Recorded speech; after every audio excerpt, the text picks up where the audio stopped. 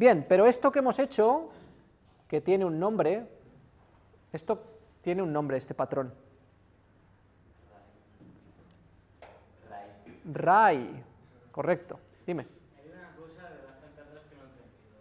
Vale, antes de tu pregunta voy a decir lo que significa RAI.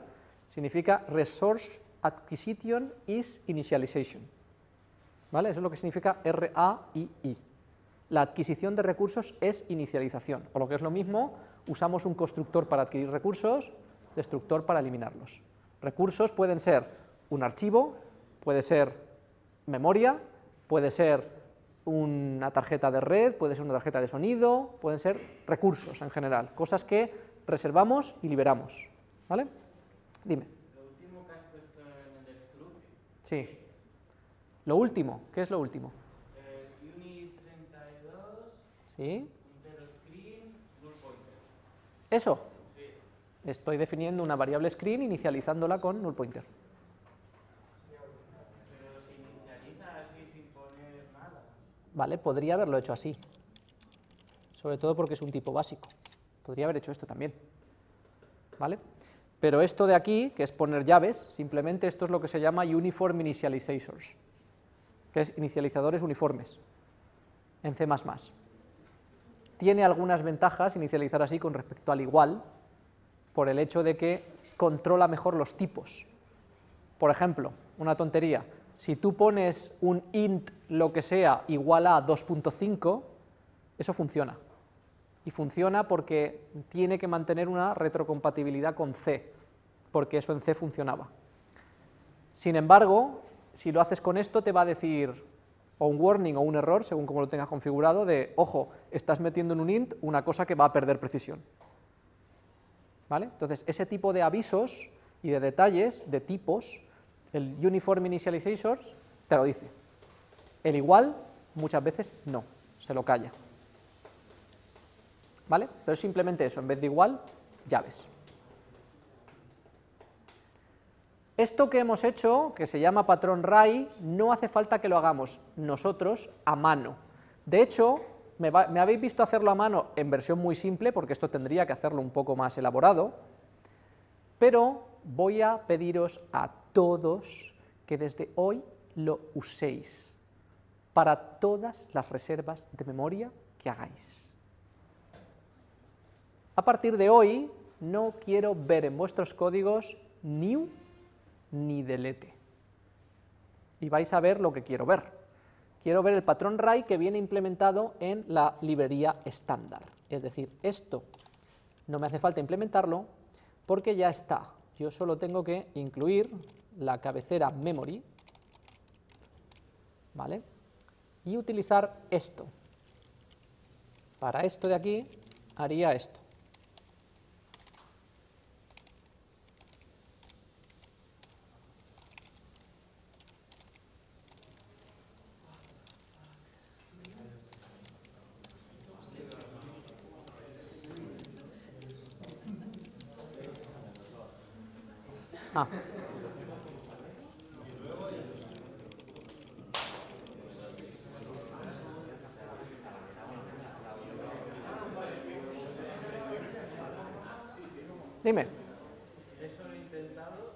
Lo has intentado. no aparece el unique pointer. No aparece el unique pointer porque todavía no lo he hecho bien.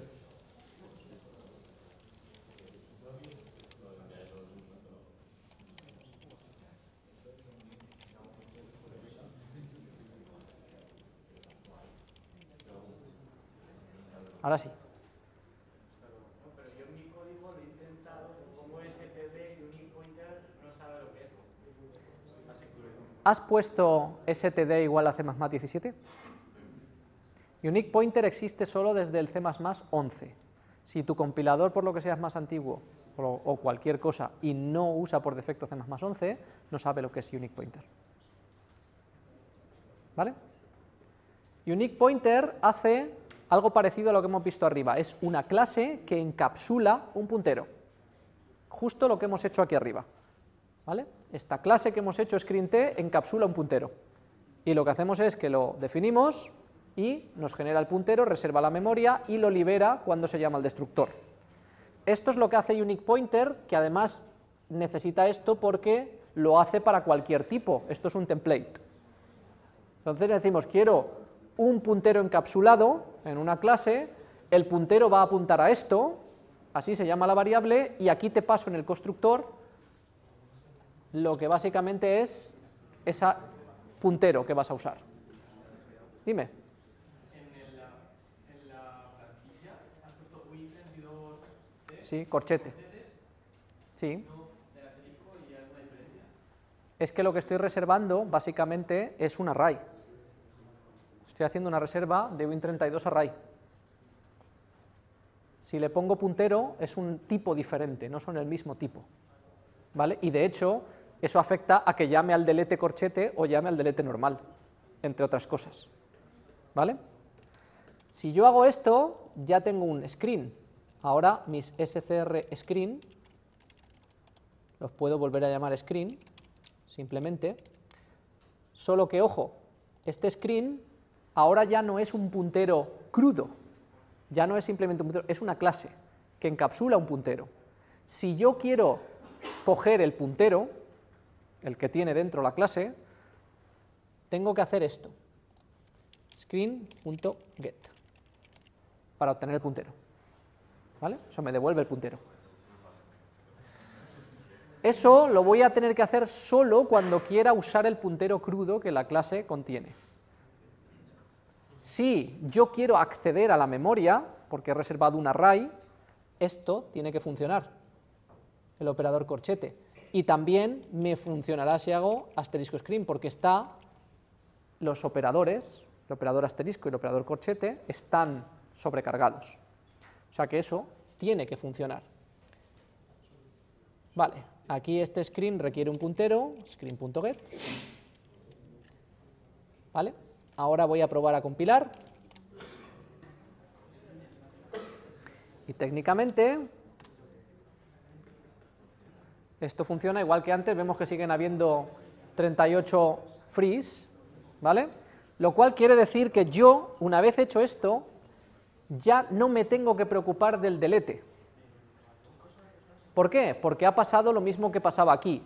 Yo acabo de crear un objeto de tipo unique pointer que tiene encapsulado dentro el puntero que he reservado con new. Y cuando se llega al final de esta función, unique pointer se destruye, se llama el delete. Dime. Eso lo tenéis que hacer con todo lo que haga new, es decir, no quiero ver el new. De hecho, es más, cuando digo que no quiero ver el new, es que no quiero ver el new. Y como no quiero ver el new, aquí lo estoy viendo y no me gusta.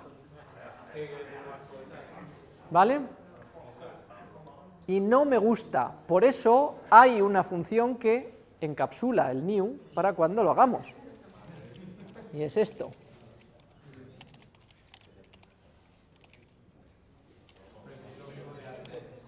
No es lo mismo.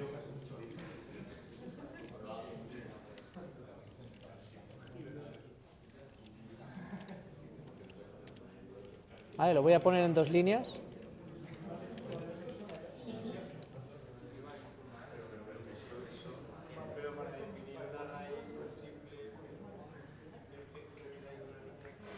Para definir un array simple tengo que escribir muchas líneas. Vale, la pregunta que voy a hacerme es, ¿importa que tenga que escribir más o importa que mi aplicación funcione bien?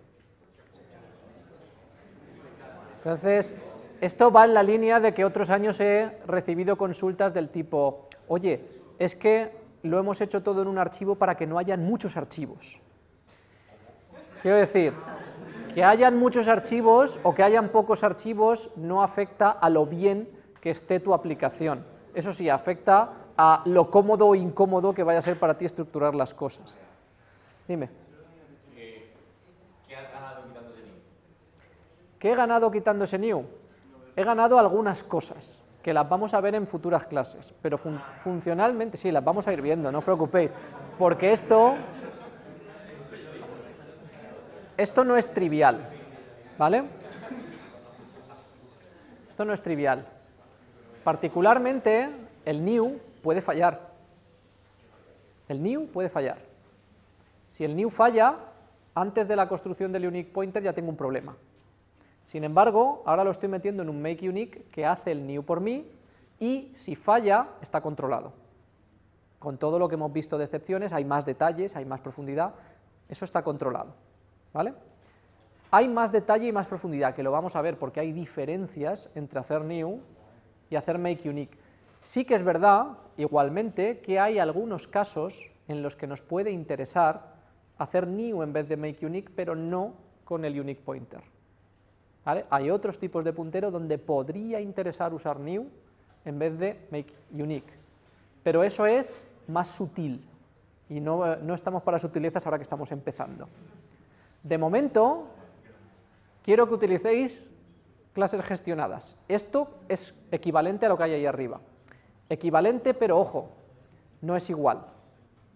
Porque esto sí que está gestionado. Por ejemplo, si yo ahora a mi screen le asigno otro puntero, ¿vale? Porque yo podría hacer cosas como esta. Puedo hacer esto. ¿Qué va a pasar ahora?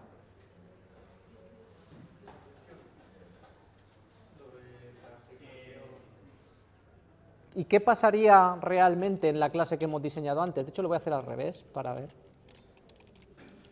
Voy a hacer así. ¿Qué esperaríais que pasaría en este caso? ¿Qué esperaríais que pasase?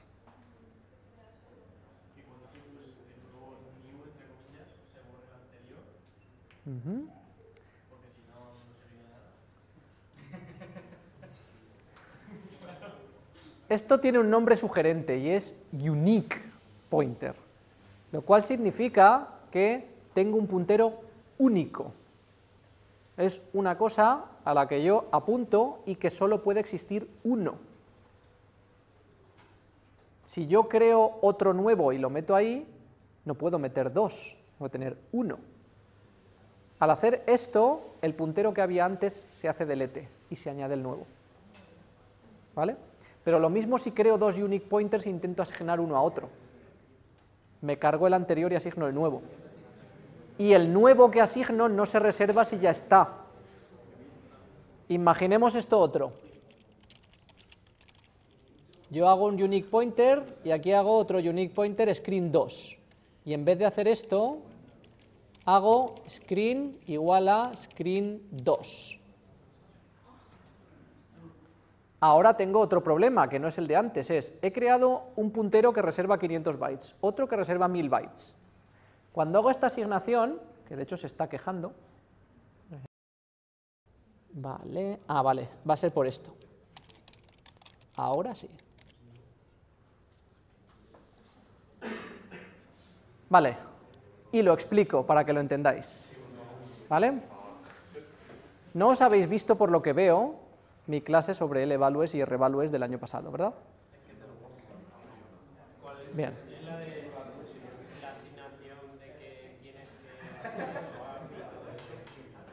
Vale, sí, esa es parte de ello, pero a ver, esto es una cosa importante en C++ a partir de C++ 11. Yo he creado un puntero gestionado y he creado otro. Ahora cuando hago esto le digo, oye, este de aquí, esto de aquí que es stdmove, es un cast, en realidad. Me está convirtiendo esto, que es un objeto, a una referencia de revalue, que se llama, que ahora os explico lo que es porque no lo habéis visto, ¿vale? Y luego esta asignación no es una asignación normal como antes, que creaba una copia, sino que ahora se convertirá en una asignación que hace move, que os explico lo que es, ¿vale? Yo tengo un puntero y tengo otro, y cuando haga esta asignación, el primero, este de aquí, delete porque no puede continuar existiendo cuando le asigno uno nuevo.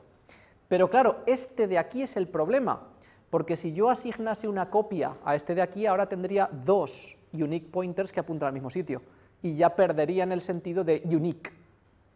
Y de hecho, cuando los dos se destruyeran, los dos harían delete, y todo se fastidiaría. Eso pasaba antes de C++ 11 con lo que se llamaba autopointer.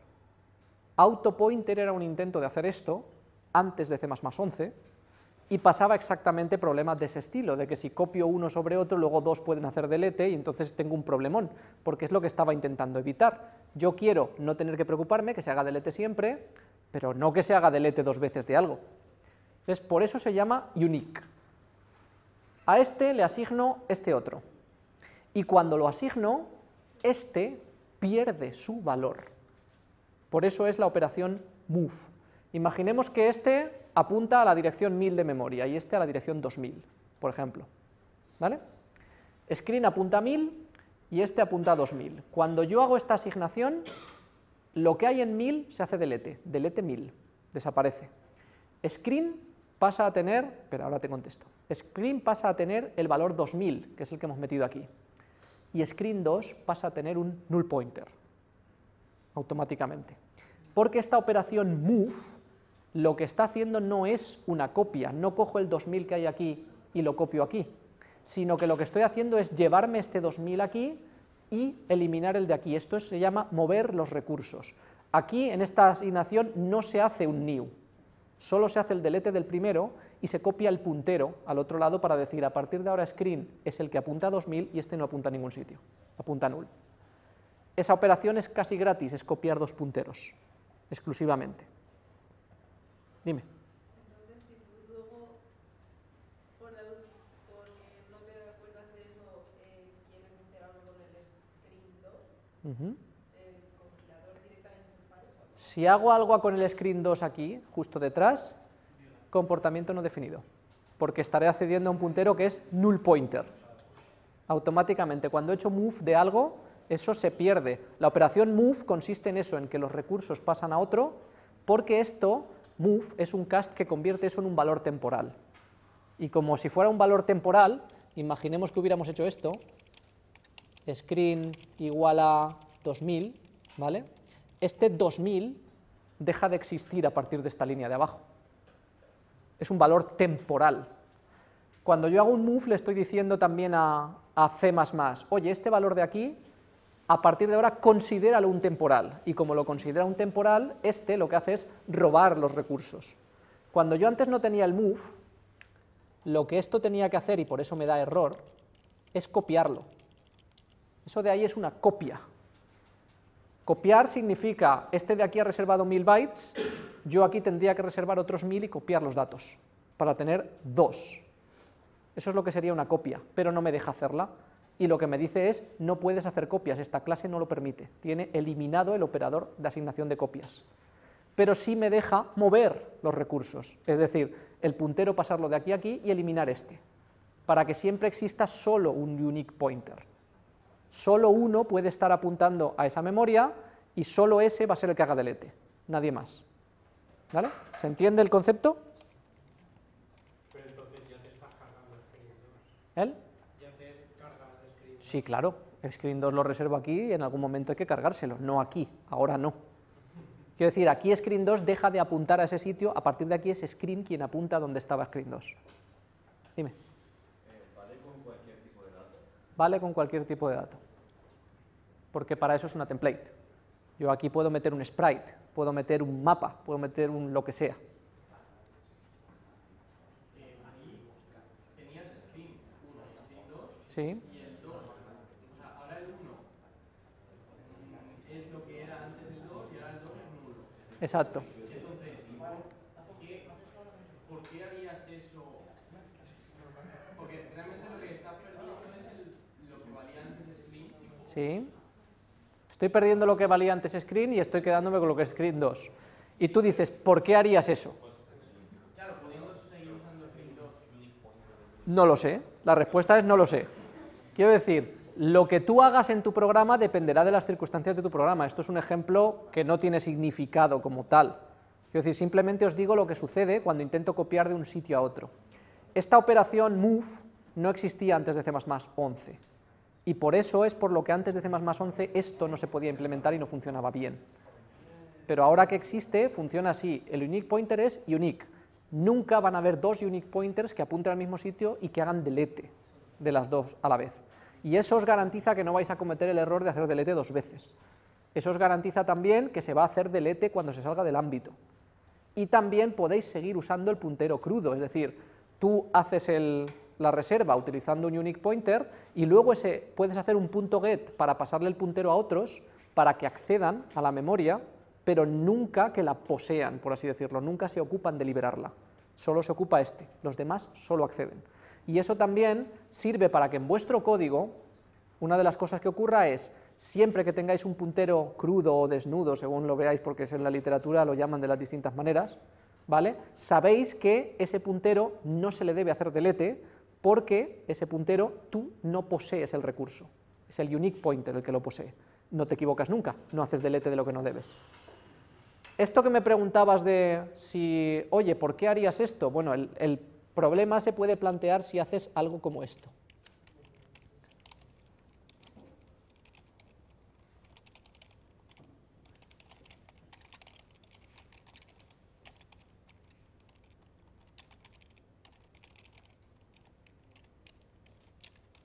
Por ejemplo,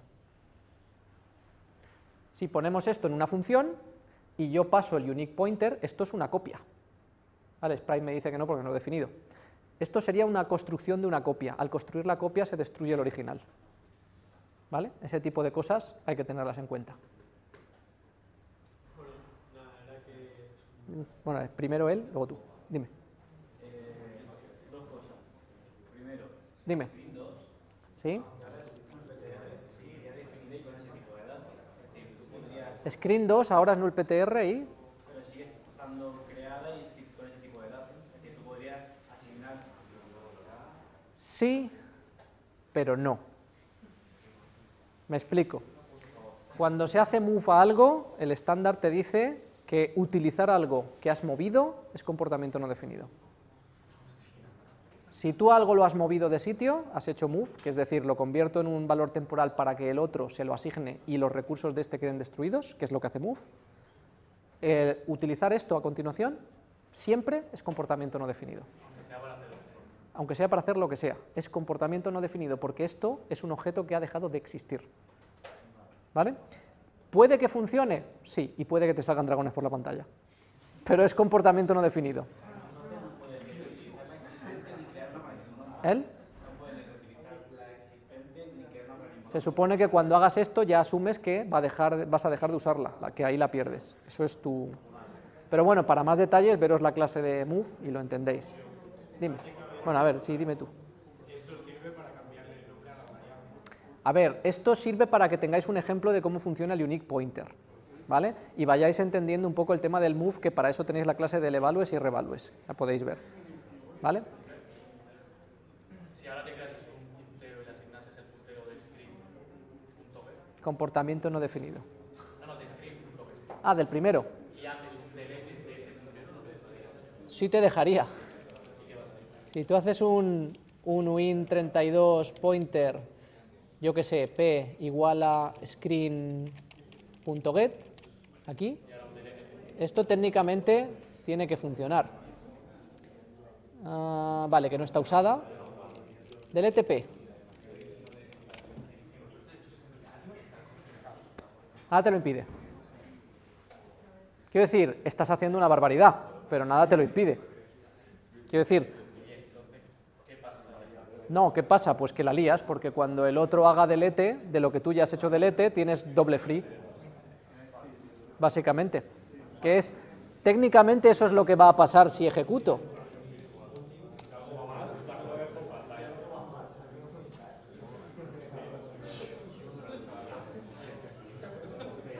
Tenemos problemas, ¿no? Mejor no hacerlo, ¿sí?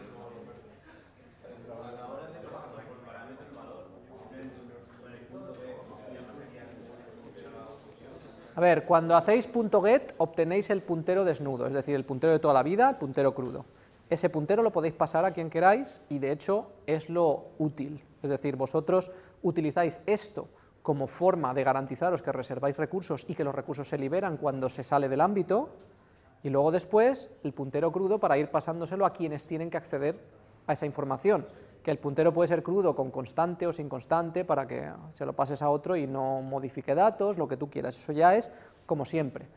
Y tienes la ventaja de saber que en tu código no van a haber news, que en tu código no van a haber deletes, no te tienes que ocupar tú de hacer delete, solo te tienes que ocupar de pensar cuando reservas ámbito, algo, cuál es su ámbito, y saber que cuando termine su ámbito se destruye. Si esto lo haces en una clase, lo que va a ocurrir es que se destruirá cuando se destruya la clase. Además, esto también os ahorra otro trabajo, y es que no tenéis que definir destructores si no es que hacéis cosas diferentes, porque esto ya lo, ya lo lleva implícito. Si esto está como miembro de una clase, se va a llamar a su destructor automáticamente sin que tú definas ningún destructor en tu clase. Con lo cual, entras en lo que se llama the rule of zero. Es decir, en otras clases tengo la regla de los 3 y la regla de los 5, que es que si tienes que definir un constructor de copia o un operador de asignación o el destructor, tienes que definirlos todos. Pero que lo mejor que puedes hacer es no definir ninguno. Mientras no estés obligado a definir, lo mejor es no definir ninguno. Y esto te ayuda a eso.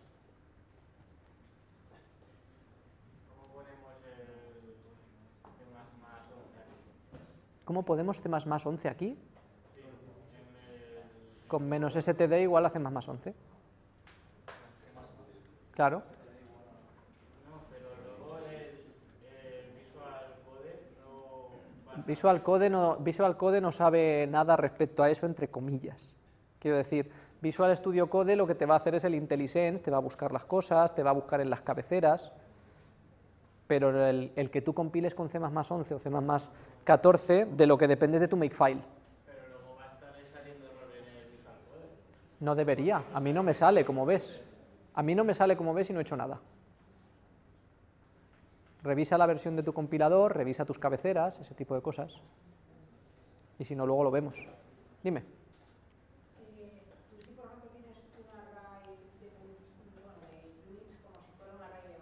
Sí. ¿cómo eliminarías un elemento de ese array?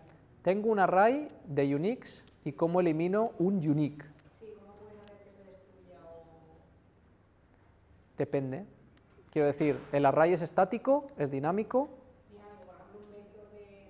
Si el, array es dinámico, tú estás creando unique pointers dinámicos. ¿No? Cuando destruyas uno, se destruye. Por ejemplo, tú tienes un vector de unique pointers, si le haces un erase o un remove, te lo cargas. ¿Eh? Claro.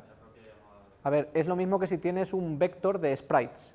Cuando haces un erase, se llama el destructor de sprite. Lo mismo. Es una clase. O sea, de hecho, para estas cosas pensadlo como lo que habíamos hecho arriba. Pensadlo como eso. Al final, unique pointer es un- una clase. Si tú haces un vector de elementos de clase, cuando llamas al remove en ese vector, el eh, objeto se elimina, se llama el destructor, que es lo que aquí quieres. ¿Vale? Si es un array crudo, solo cuando destruyas el array.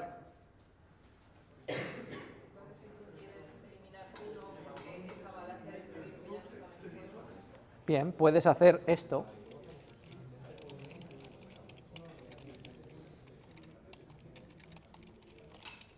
Que debería funcionar. Sí. Le asignas un null PTR y entonces lo que estás haciendo es, como vas a apuntar a otro sitio, se destruye y se asigna un null. Ya está. No, si eso es, si tú tienes un vector de unique pointers, a un unique pointer le haces un igual a null pointer. Responde eso a tu pregunta, ¿no? No sé si me está escuchando.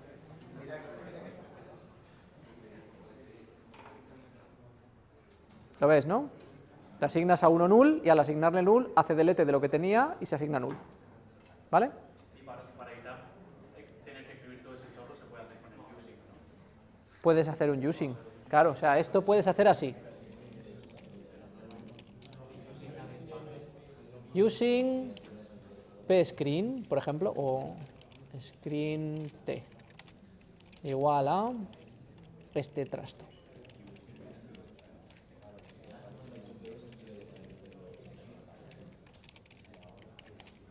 Hay otra forma de hacerlo, además del using, que es más guay, que es esta de aquí.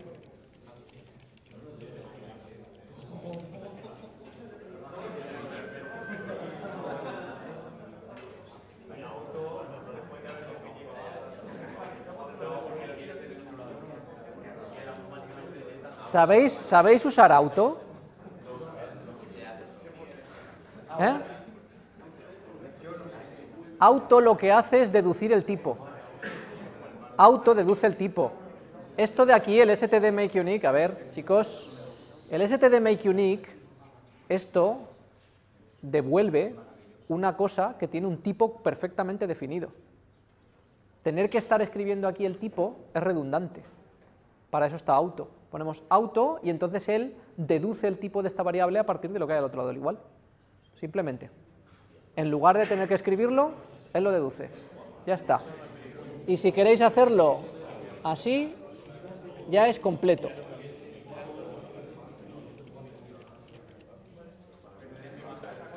Ya está. Dime.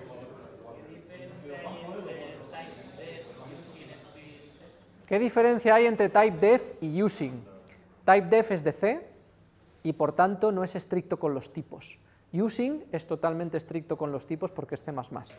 C no es un lenguaje tan fuertemente tipado como C++ y te permite hacer conversiones que C++ no te permitiría nunca y que de hecho son la base de muchos potenciales errores. Entonces, using está más fuertemente tipado, es propio del lenguaje de C++, te evita errores de tipo. ¿Eh?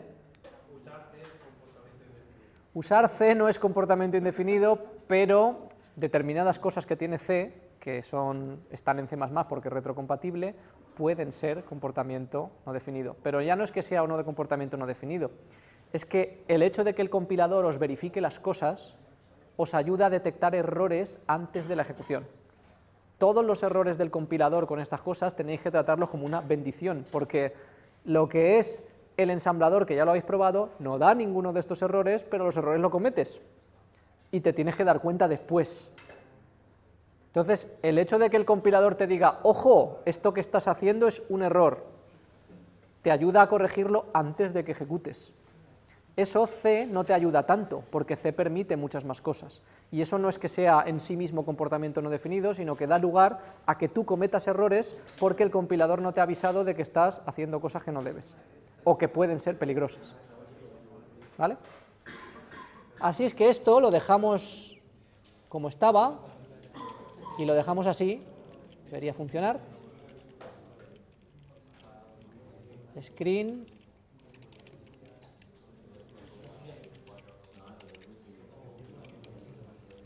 ¿No?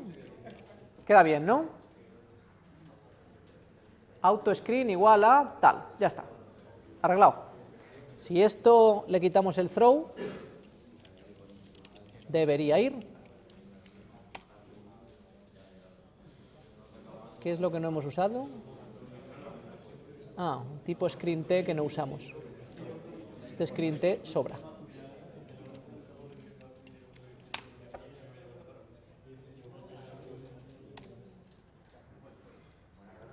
tenemos nuestro game, hay un sprite ahí dibujado,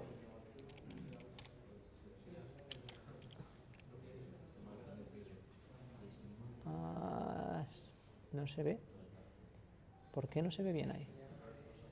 Ahí, un pedazo de sprite, ¿eh? importante, ahí bien dibujado, ¿lo veis? Salimos, 123 reservas, 123 frees, todo funciona perfectamente, ¿vale? Ya no nos hace falta esto, y hemos visto un montoncito de cosas. A ver, habíamos empezado porque queríamos ir a ver un sistema, creo que el sistema lo dejamos para la semana que viene, empezamos ya, ¿vale? Ya tenemos los files, ya sabéis que debéis usar punteros gestionados, a partir de ahora, ¿vale? No uséis punteros crudos y la semana que viene empezamos a ver cómo hacer ya nuestro ECS con sistemas.